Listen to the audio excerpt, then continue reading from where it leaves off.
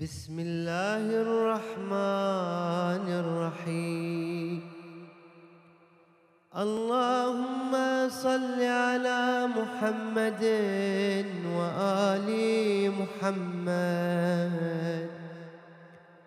اللهم اجعلني فيه من المتوكلين عليك.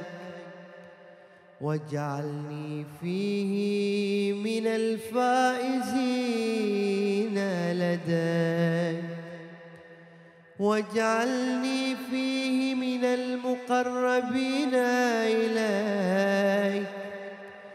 بإحسانك يا غاية الطالبين.